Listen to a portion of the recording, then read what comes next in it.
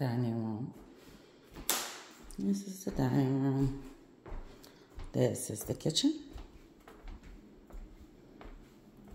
Eating area.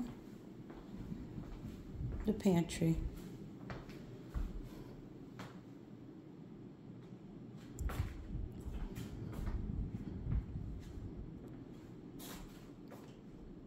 This is a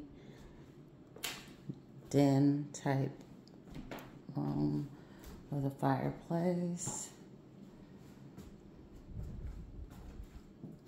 This is the back door to the backyard.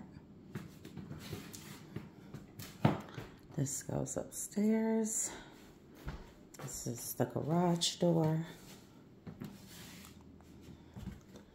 I will go in there, but this is the laundry room. Does have a sink. It looks like it does have some storage space here as well. Okay,